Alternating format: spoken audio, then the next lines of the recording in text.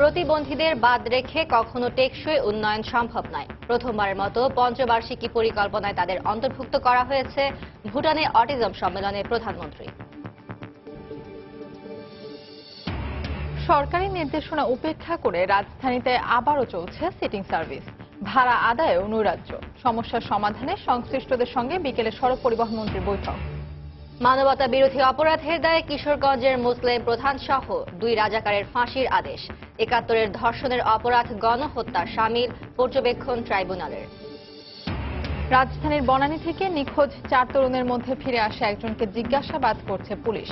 তাকে অপহরণ করা হয়েছিল দাবি পরিবারের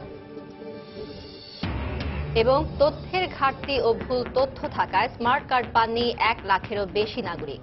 নিতে যাননি বারো লক্ষাধিক শঙ্কিত না হয়ে নিয়ম অনুসরণের পরামর্শ কমিশনের।